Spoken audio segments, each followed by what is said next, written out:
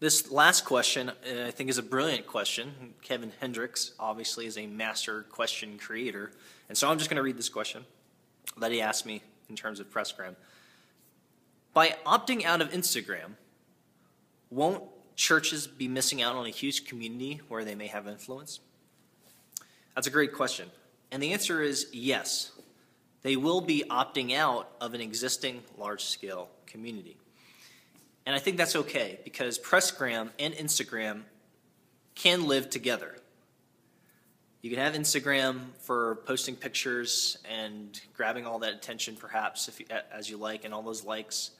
But you can also have Pressgram as an official communication device for the kind of the public-facing uh, web. So I, I, see this as kind of two two different strategies per se. Um, some may actually include them as the same application and just have one. But I imagine that many many people, many organizations may have both Instagram and Pressgram live side by side. They may have personal accounts like the senior pastor or significant leaders within your organization may keep their Instagram accounts, but there might be an official Pressgram account that publishes official images straight to the, the WordPress powered blog uh, for the organization or the church or the nonprofit, giving it that stamp and being able to control that messaging as I, as I shared before. Some churches um, may just go all in on Pressgram and say, you know, we really want our pastors and our leaders to use Pressgram. Um, so that they, we can control the messaging. And so we can post to images to the blog and the site. Many pastors and, and leaders now um, have their own personal blogs, so they may use Pressgram as a communications device for their blog in particular. So there are many different ways that you can cut it. The question, though, is all that influence in Instagram, so to speak, is it working? Is it actually drawing people closer to your organization and ultimately Christ?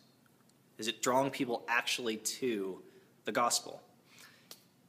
And we could argue that all day long, but it can be very difficult, at least from my perspective, to say, hey, Instagram really is a incredible evangelical tool. I'm not so sure about that. But I, what I do know is that is it, it is our prerogative, it is our responsibility to control as much messaging as we can so that we can create that cohesive experience for others. And so, whether or not you're opting out of a significant network and opting into a much smaller one, and hopefully it'll grow, it will have a, a social networking component, is up for grabs. I'm not dogmatic about implementation. I think churches um, and individuals are smart enough to create their own experience with the actual application. But there is certainly a give and take. And of course, they can live together if you'd like. It's a great question. There's not a definitive answer for sure. But for me and, and my organization and the organizations that I oversee, creative control is vastly important. And our blog and our WordPress powered sites are the way that we consistently create community. We're consistently creating our brand awareness. We're marketing our products or our services or, or just our ideas. And that's vastly important.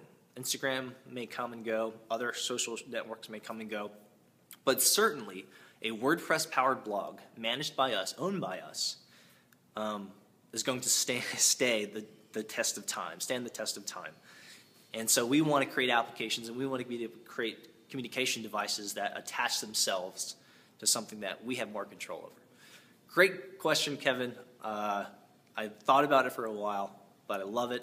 Thank you so much for giving me some time on the blog. I'll see you guys later.